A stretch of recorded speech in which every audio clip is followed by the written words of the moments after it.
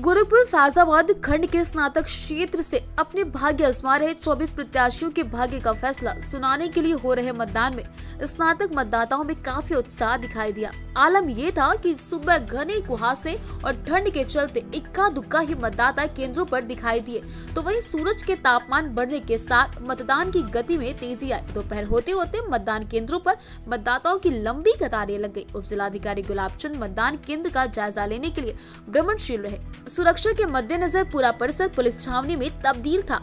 थाना अध्यक्ष हरया शैलेश कुमार सिंह थाना अध्यक्ष छावनी दुर्गेश पांडे, इंस्पेक्टर रामकृष्ण मिश्र अपने हमराइयों के साथ पूरे दिन सुरक्षा व्यवस्था में मुस्तैद रहे। बस्ती से दैनिक भास्कर के लिए जनार्दन पांडे की रिपोर्ट। पर चुनाव गोरखपुर के स्नातक का यहाँ चुनाव हो रहा है। तहसील हरैया में छः ब्लॉक हैं। छः ब्लॉक में कुल सात बूथ बनाए गए हैं। हरैया जहाँ पर, हरैया विकास खंड में दो बूथ हैं यहाँ पर।